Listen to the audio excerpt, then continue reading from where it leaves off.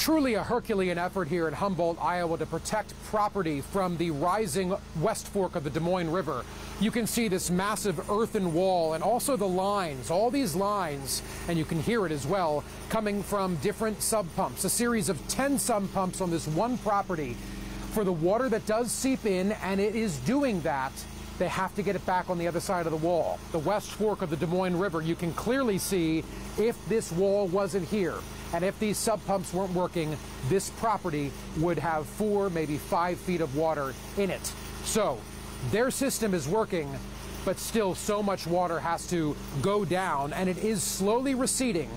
The crest here, 17 feet earlier today, that is an all time high. The last record set back in the 60s at 15.4 feet.